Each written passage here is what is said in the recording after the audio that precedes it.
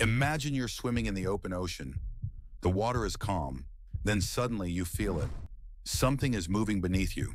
A shark. Your heart starts racing. Your body freezes. But here's the shocking truth. Your chances of surviving a shark encounter are much higher than most people believe. Here's why. Sharks don't actually hunt humans. In fact, most shark attacks happen because of mistaken identity. From below, a swimmer can look like a seal. Once the shark realizes you're not its natural prey, it often swims away. Now, quick pause. If you enjoy real survival facts and interesting science like this, follow, like, share, and comment, because we upload more topics just like this. Back to survival. One of the biggest mistakes people make is panicking. Wild splashing sends the wrong signal.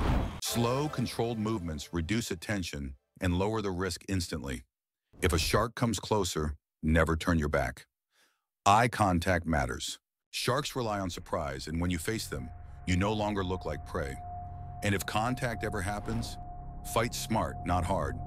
Target sensitive areas like the eyes, gills, or nose. Even a brief strike in these areas can make a shark retreat.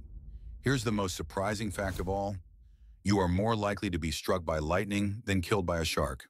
Sharks may look terrifying, but calm thinking, awareness, and simple actions give humans a real survival edge. The ocean is powerful, but fear is often more dangerous than the shark itself. Follow, like, share, and comment if you want more unbelievable survival and science facts. More videos coming soon.